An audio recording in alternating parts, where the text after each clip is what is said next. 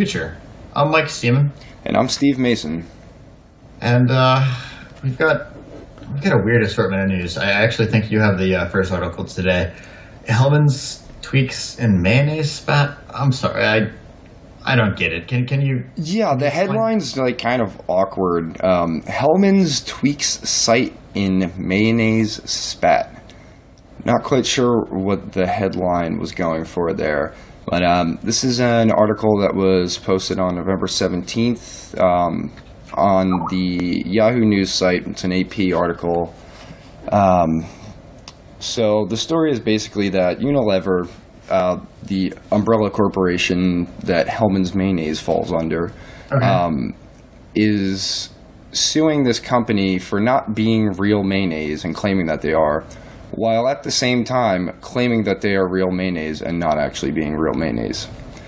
Uh, so, what is real mayonnaise, you ask? it, yeah, yeah, can you pause and kind of roll? So so first off, Unilever owns Hellmann's. yes, Unilever owns Hellmann's Mayonnaise. Okay. So is there some other obscure mayonnaise company suing Hellmann's? Hellmann's is well, Unilever is suing this other obscure mayonnaise company uh, Okay. called Just Mayo. So let me read a couple paragraphs from the actual article. Sure. Um, Unilever's suit accuses Hampton Creek, the maker of Just Mayo, of false advertising because its product has no eggs and therefore does not meet the definition for mayonnaise. The suit says the word mayo implies the product is mayonnaise, and that Just Mayo's uh, stealing market share from Hellmann's. So they just outright say they're stealing market share from Hellmann's. Wait, so why? Uh, like, on what grounds does Hellmann's slash Unilever claim just mayo is not just mayo?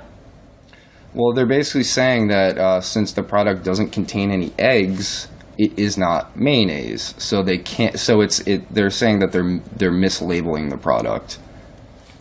Is does that mean that Hellmann's and Unilever are claiming that there's no such thing as a vegan mayo? Like, if it's not, if it doesn't have eggs, it's not mayo. So vegan mayo must not possibly exist. Is that what they're saying? I, you know, that was a question that I also had reading this article. Is um, basically who defined what mayonnaise is, and because the the whole argument is over the definition of mayonnaise. Um, What is? Did you look at Wikipedia? What do they say? uh, no, I didn't. Um, That might be worth looking up real quick if you want to do that. yeah, Just for the actually, sake of comparison, I'm curious what the average description slash like uh, open source community endowed description of mayonnaise could possibly be because I I actually couldn't even tell you fat, uh, buttery, yellow fat. I don't I don't know what. Okay, so this is um, okay. So according according to Wikipedia, um, oh, actually, this is even more interesting. Uh, this is from the Hellmanns.com about page. Um, mayonnaise is said to be the invention of French chef of the Duc de Richelieu in 1756.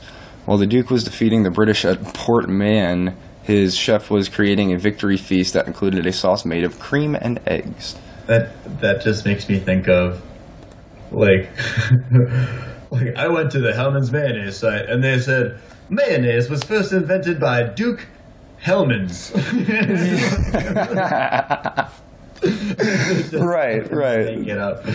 All right. Um, so is this Wikipedia? This is actually Hellmann's site. That was on Hellmann's site. So now, um, Okay. Wikipedia. I'm not quite sure. Um, what the fuck is okay, mayonnaise? origin. Blah blah blah. What is what is Merriam-Webster's definition of mayonnaise? I have no idea. That's yeah. That's what I. Uh, okay, wait, wait, wait. According to the Oxford English Dictionary, the term bet. mayonnaise was uh, used in in English as early as 1823. Um, I don't know uh, the, uh, who defined mayonnaise because now this is a big thing that's involving, you know, like the Food and Drug Administration because it's a labeling issue. Um, which you know it tends to to seem that like a lot of these labeling issues that we're seeing with like uh, for example how Goldfish, Pepperidge Farms Goldfish, had natural on the product, but they use GMOs. Um, they use GMO products. They use uh, soy oil, vegetable oil, um, and the, but it's labeled natural. So they got they got sued for that. Um, but it's it's semantics, and it's like who's defining these these words. Um, I'm willing to bet the FDA has some sort of definition of mayonnaise. The FDA dictionary. Um, well, hope. in, in any event, um, another another uh, uh, paragraph from this article, it gets it gets more interesting. Um, so Michael Simon, a public health lawyer, said.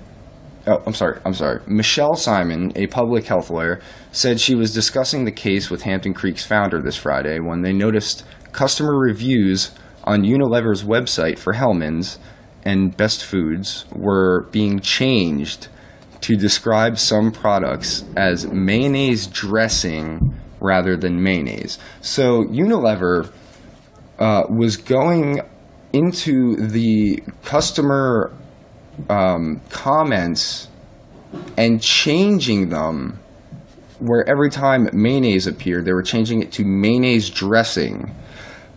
The reason being, they have products, Hellmann's has mayonnaise products that don't contain eggs, but are labeled mayonnaise. So they're essentially doing the same thing that they're suing this other company for. So, so do they mean like?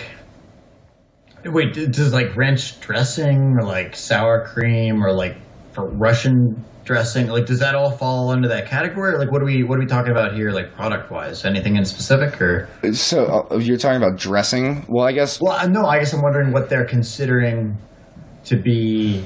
uh you know what I mean? Like to be like a mayonnaise dressing. Or Yeah. So I mean, they didn't change the product. They were changing the the references and the labelings on the product. Um, oh, they were trying to like retroactively like like uh, Oh, cover up so- the fact that they were also using the label mayonnaise without having eggs in the product because that's So- what they were suing Just Mayo for.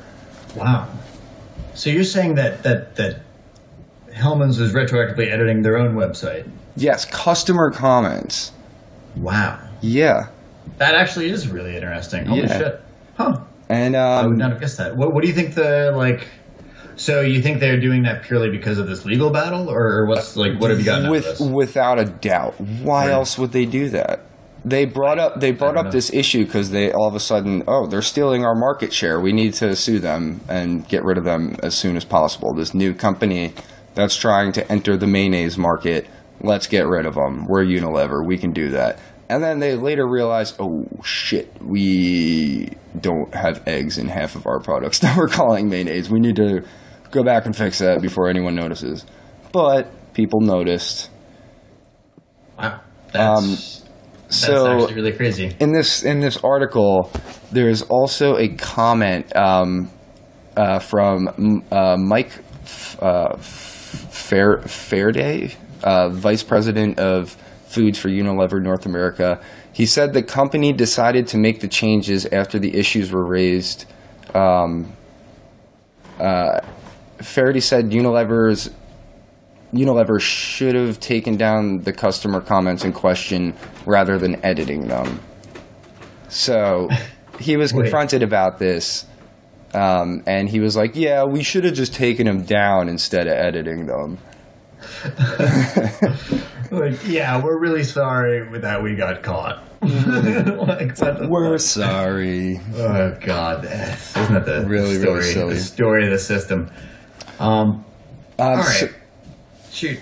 Uh, yeah, so no, I just wanted to to observe that um, uh, Hellmann's, you know, like Hellmann's mayonnaise is is Hellmann's mayonnaise. That is like a household product for year. I grew up with always a Hellmann's mayonnaise in my fridge. I don't eat mayonnaise. I don't particularly like it, um, but it's funny to see this new product uh, entering the market that has this sort of. If you look at the label for just mayo, um, if you look at the bottle, it's got this like natural kind of feel to it, um, and it's called you know just mayo, like nothing else, none of that fancy stuff, just pure mayo, and uh, it's it's it's kind of like um, and then all of a sudden, you know, Hellmann's is like, oh man, we're, they're they can really put a dent in our sales.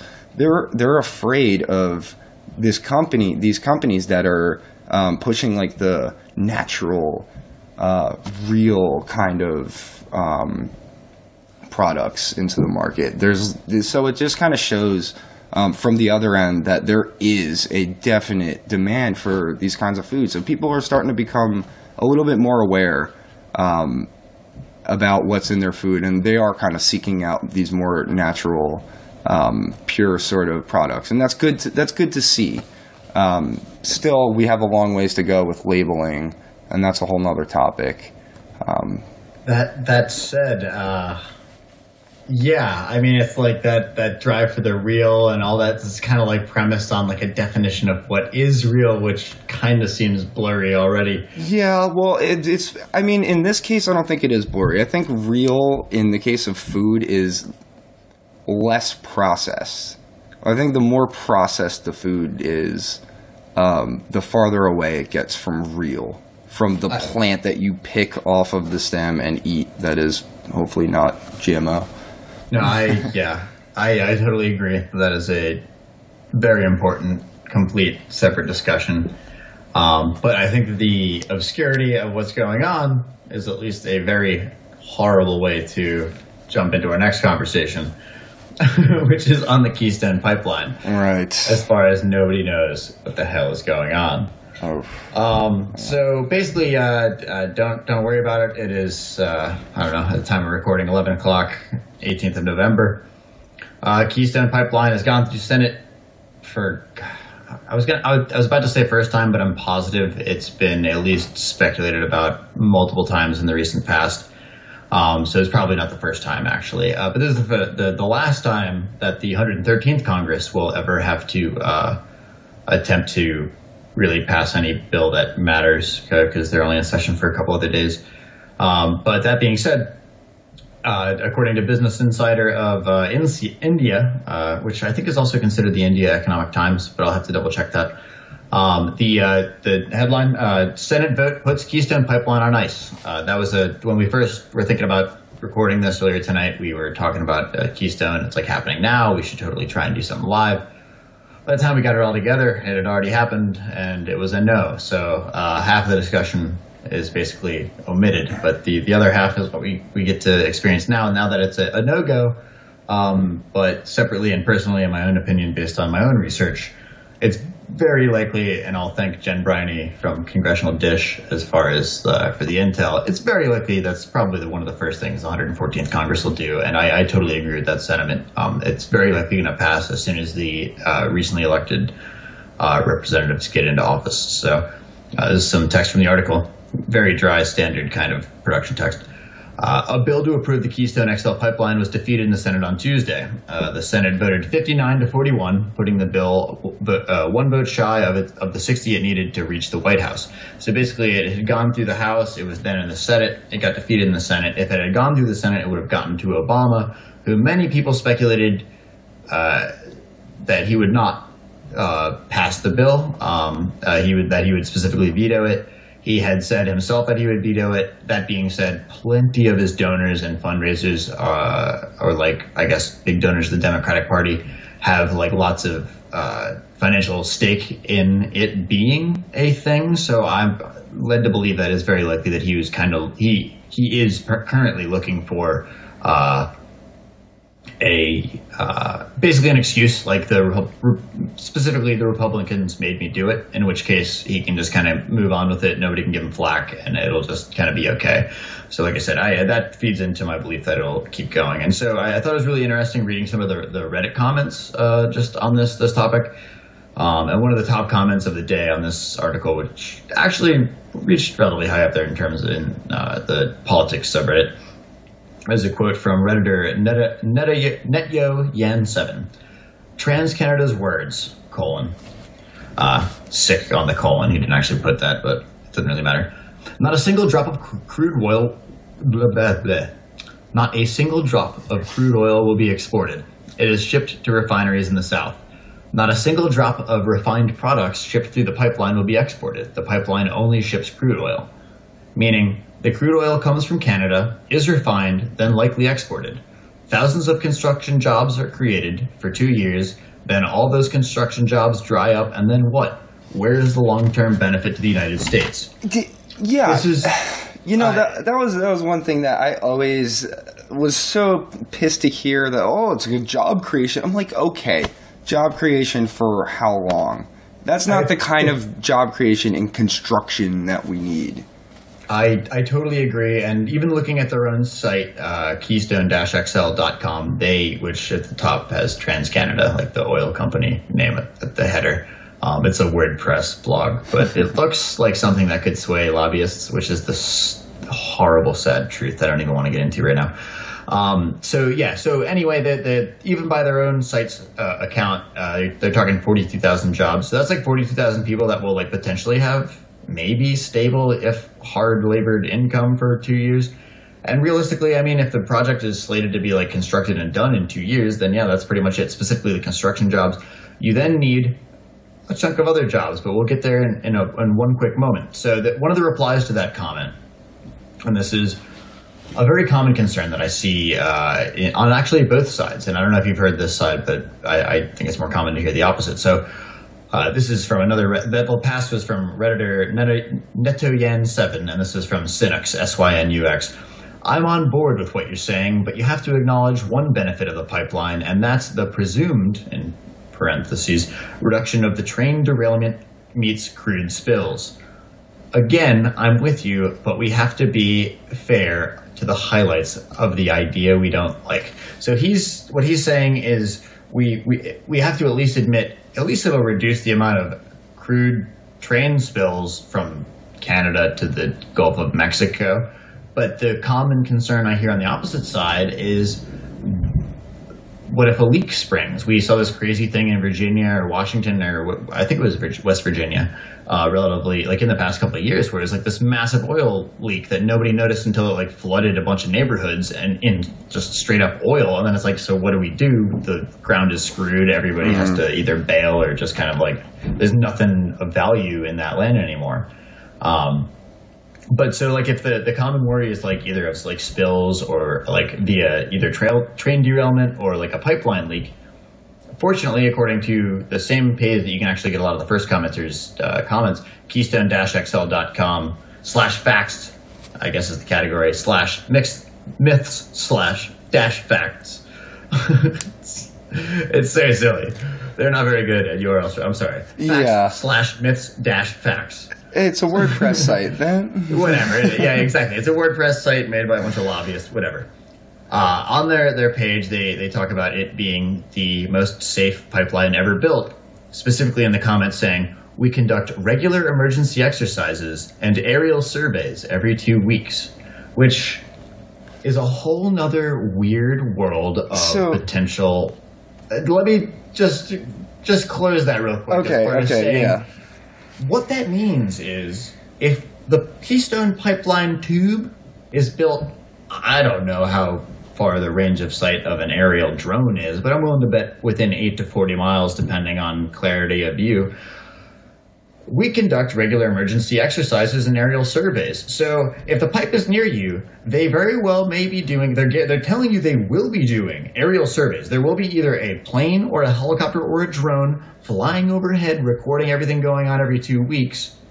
And optionally, also, there will be emer- regular emergency exercises just to, you know, test the, the potential of somebody coming and fucking with the pipe.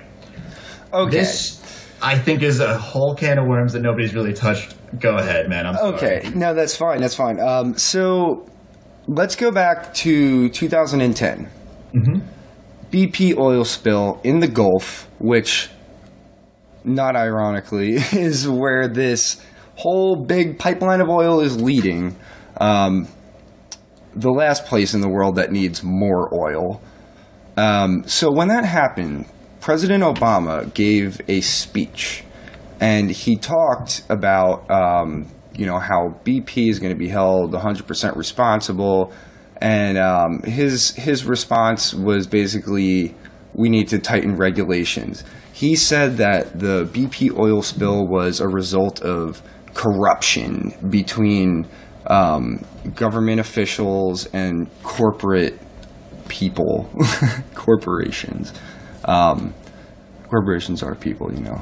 Um, so that was his, his, whole thing. He's saying, you know, uh, we we need we need tighter regulations. That's how we solve this problem. We don't stop it by by uh, you know cutting down on our oil addiction. We stop it by tighter regulations.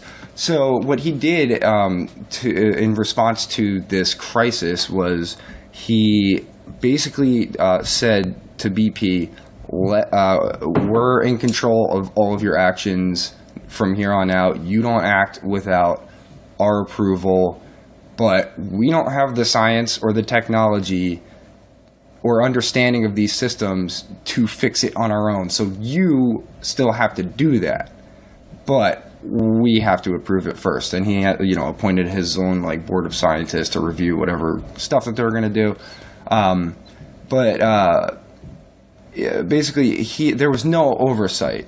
There was no oversight. The people who were supposed to be ensuring the safety of these systems were appointed by BP and the oil industry themselves. There was no mm-hmm. regulation or whatsoever. So this this is 2010. This is four years ago. That happened. It was an environmental catastrophe. It destroyed the Gulf. It destroyed the fishing industry, the, the wildlife, the whole. You know, there was the, uh, entire towns just just destroyed. These people didn't. You know, the the, the their jobs were screwed. There's fishermen out there like we can't fish. Can we can we help? Like is there something we could do to help?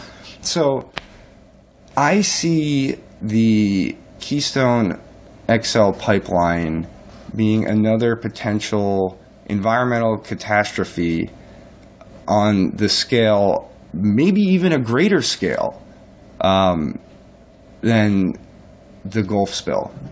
But why are they the only ones who are watching themselves? After all of this, after all this this shit about you know tightening regulations, we need to you know we need uh, more people to uh, uh, we need to appoint a, a board to you know look over this stuff to watch this stuff to make sure this doesn't happen again. Okay, it didn't get approved, but you know if it did, you know the, on their on their site. Very- they're talking about they are the only ones who are going to be watching their own stuff. Obama didn't talk about that at all. He all he talked about was, uh, and this is like you know his own public opinion about whether he would have vetoed it or not. Uh, all he talked about that I saw was um, we don't benefit from it. We're basically just carrying Canada's stuff to uh, be exported mm-hmm. and we don't benefit from it. That was the only thing he talked about. No environmental issues whatsoever. And as they say on their own site on keystone-xl.com, the WordPress site, like, you know, any of us have, except they have $50 billion behind it, if not way more than that. I haven't even looked into it. Um, yeah, they, uh, they are, they, their relationship with the oil is what they would describe as the same as a furniture mover moving your bed. Like they don't own your bed. Like they don't own the oil.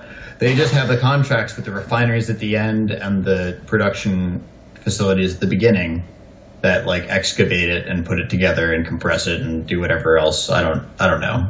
I, I truly don't know the supply line of uh, crude oil, but it just it, it seems so ridiculous and what seems even more ridiculous is that the game has been so well crafted at this point to the point where our only negative response to it is and not to demean what you just said because I think it's very important, but like to be scared of it spilling worse. So they get to spy on everybody the whole fucking yeah. pipeline long.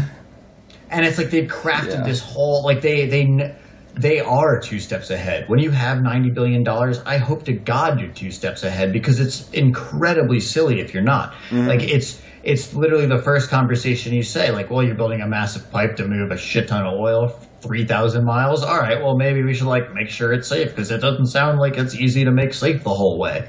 but, like, the, the, if they then take that and turn that against you to say, like, well, now that gives us good you know, like if we want to do it, it's totally cool. Then if we have like drones going up and down the perimeter every two weeks, right?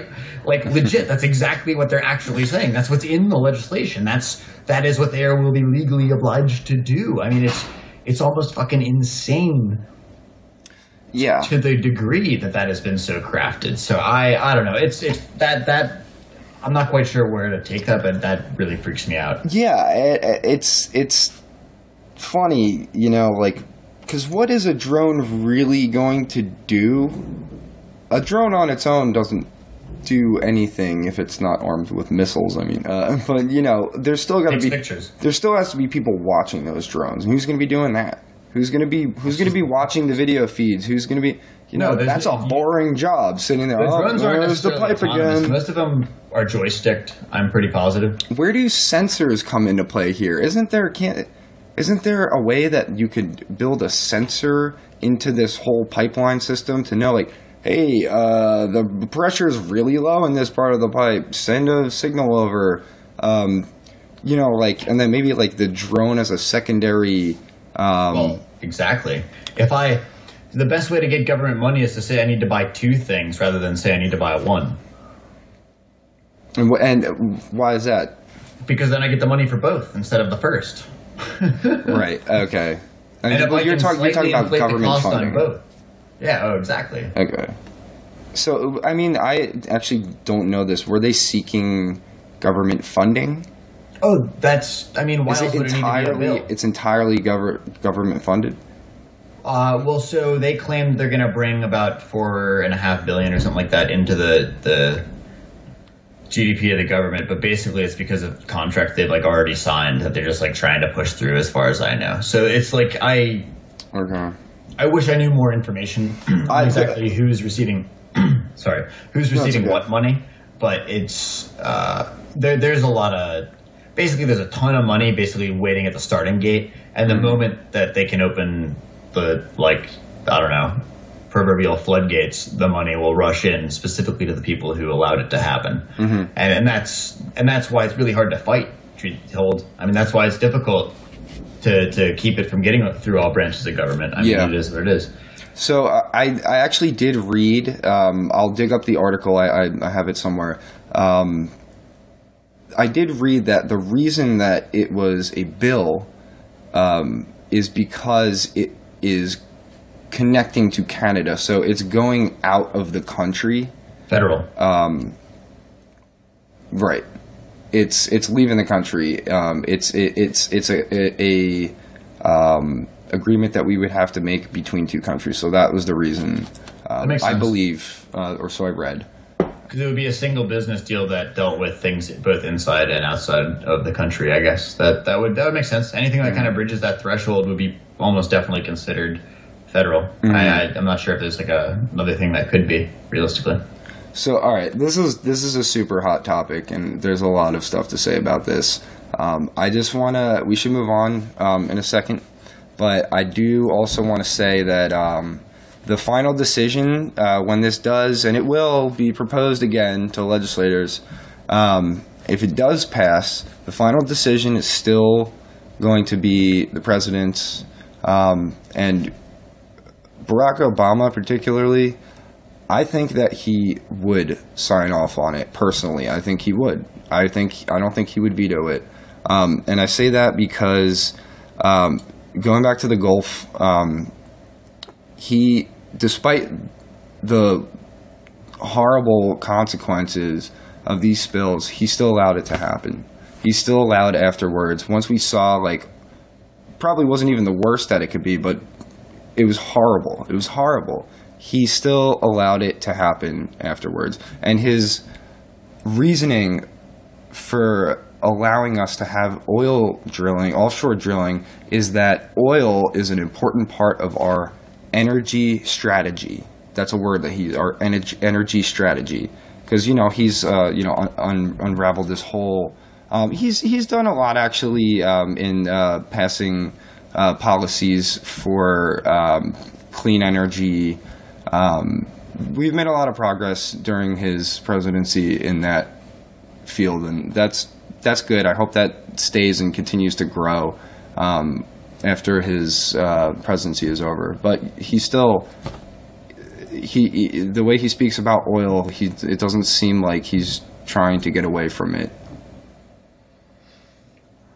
That said, um, I totally feel you, and I think kind of to your point, um, in terms of who potentially like who has the resources to actually fix a spill of the magnitude. I mean, and that's probably BP's fucking defense too. Mm-hmm. Like, what do you do? I mean, does the government have like massive Do you know what they were doing? tankers? Do you know what they were doing? BP was like, "Let's throw bags of sand on it." they had no idea what to do.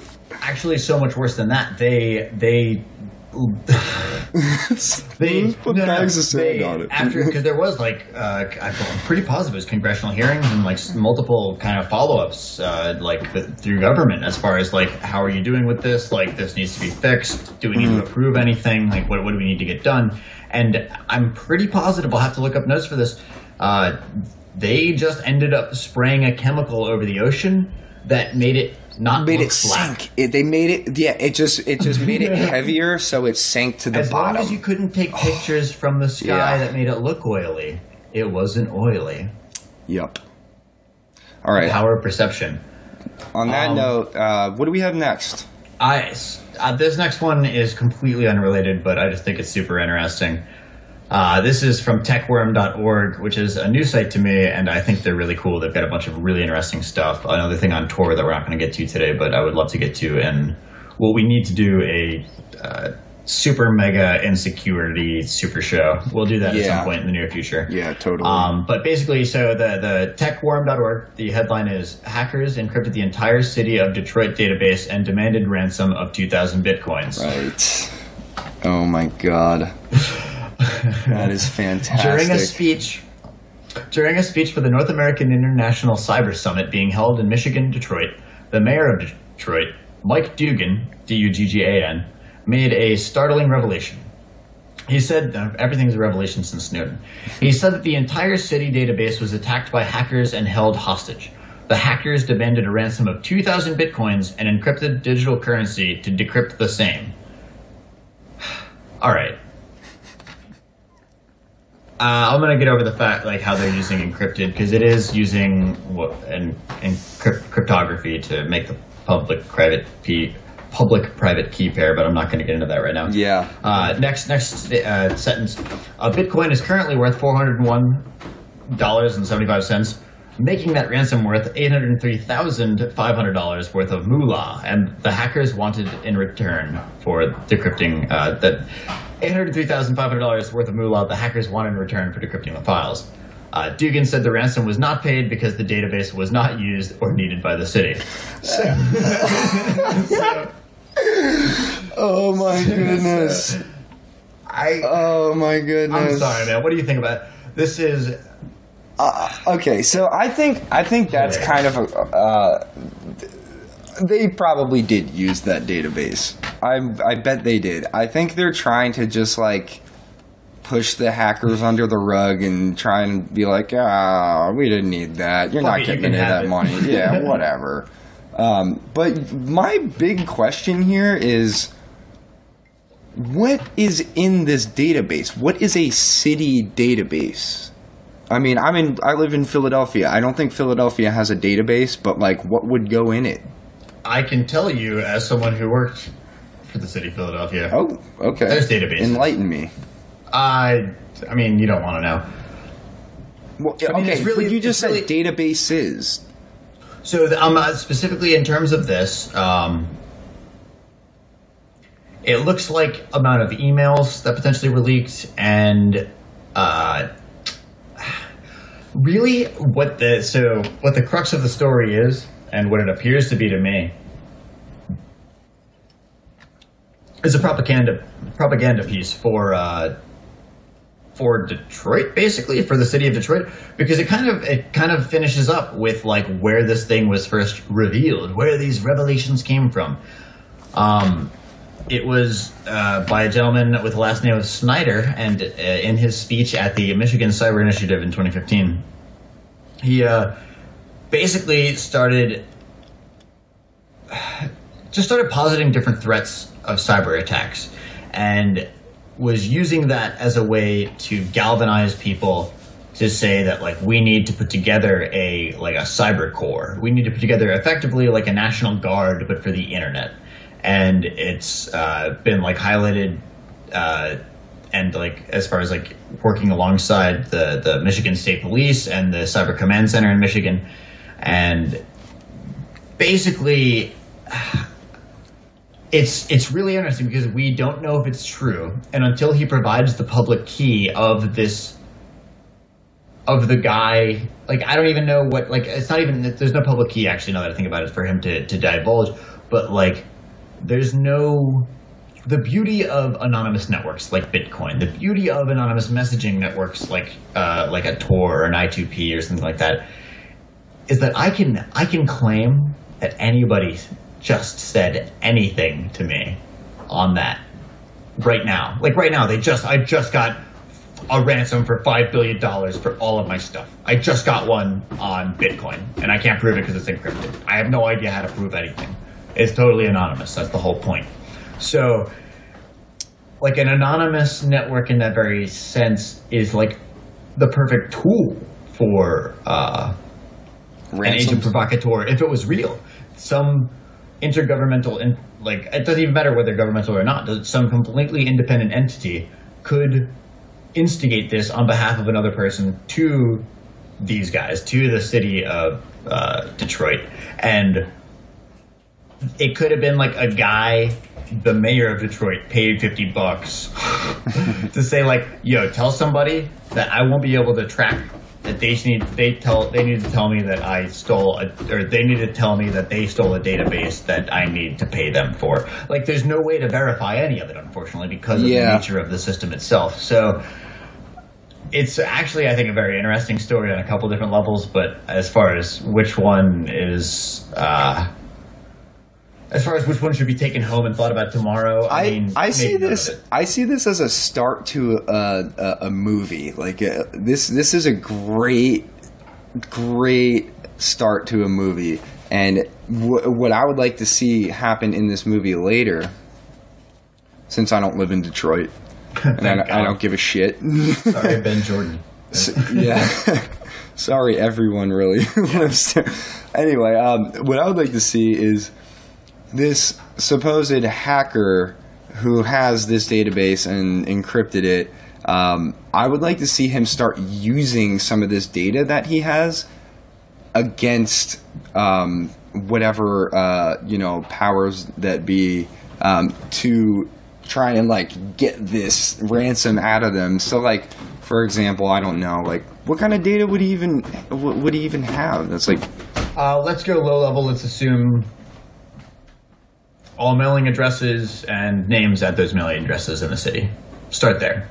okay, so um, maybe uh, you know the uh, mayor did something scandalous and uh, he finds some emails about it and posts them up on Pastebin and Reddit and I don't know. I don't know. My my imagination is drawing a blank here, but I feel like there's you know like if if he if this was actually valuable data, then he whoever has it should might potentially start using it against uh, whoever he's trying to get the ransom from, and that would be very interesting to see. That would be very very interesting to see. But you seem to think that this is all just some sort of hoax. Yeah, because like like all right. So like think of actually doing that. Think of like let's assume all you got was mailing addresses and people who live at those addresses. You then mail a thing to all of those places. You think it's like not hard?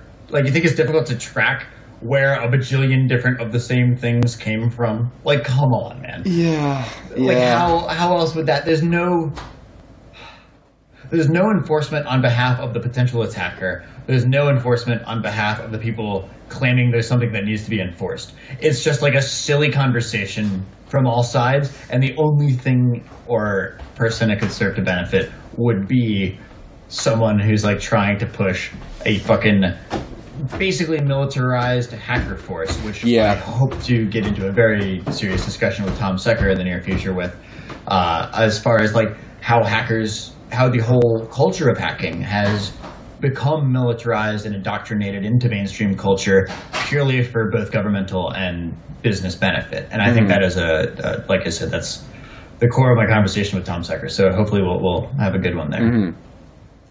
Yeah. But anyway, man, what, what do you think? though. This is what do you think it sounds like? I mean, it's a super funny story. I think I think it's it's totally believable whether it's real or not. It's totally believable, and I think it, I think it it, it, it could be real because, I mean, dude, I mean, you look at these government um, these uh, government systems they have for collecting data or uh, using data. Um, I mean, on the like municipal kind of level. Um, and it's not very it's it's all like really outdated and just really um you you can't imagine that it's it's very secure i actually know somebody who used to work for the police um in my area back in jersey monmouth county um he worked for um the the police working on their their networks and their data and all this stuff. And uh, he even you know like what they had before he was he would tell me like anyone could have got this stuff. It's not really anything that's too important but it's you know there's not really much you can do with it honestly i mean i guess someone who's creative enough could do a lot with it but um yeah, know. I think that's They're they're basically they're they're, they're using anyone We'll who see. anyone who does who is using databases at the municipal kind of level are more than likely very outdated. They're not willing to spend more of their limited budgets on um, you know security and technology. That's just not something they're thinking about. They're thinking about buying new SUVs and you know i mean even like my, my local police station uh, back in jersey um, they get new cars like every year and there's just you see them they get they're souped up and they're all driving suvs they're driving like explorers and you're like dude they're just driving these things around you're like come on man this is a lot of money I yeah, I at this point I'm pretty sure. Like I I just have bel- come to believe that every American car on the road must be a cop because who the hell else would buy an American car? Mm. Eh, I know, I know a lot I'm of people kidding, who, who have a lot to say about that, but They- all right, we're, we're getting off topic. We're getting off Absolutely topic. off topic, uh, dude. I really appreciate the discussion. I have no idea how long this has been. Um, Um, it has been 44? about Okay. yeah, about forty five minutes. Um, so is there anything, uh, I guess in particular that, that you want to kind of dip into or, or, or any kind of like recent stuff that, that you're shooting, looking forward to or, or trying to, I don't know, trying to do in the near future? Um, what am I trying to do in the near future? In my personal life, In all lives. I'm going to interrupt myself for a second.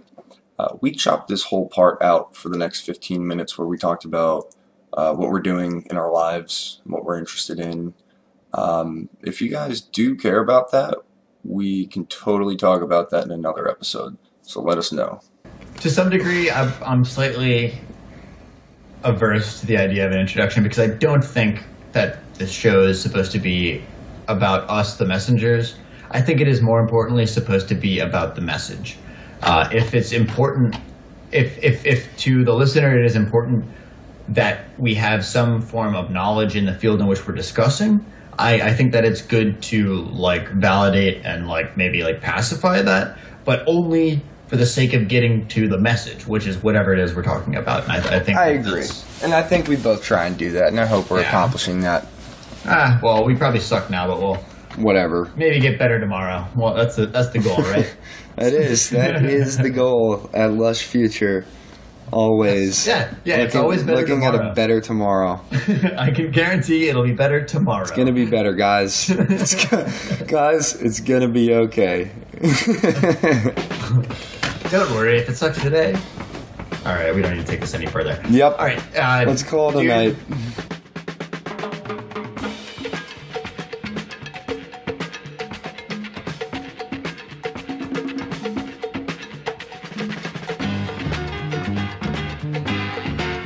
Cheers. Uh, yeah. Cheers. Cheers. Clank. Clank.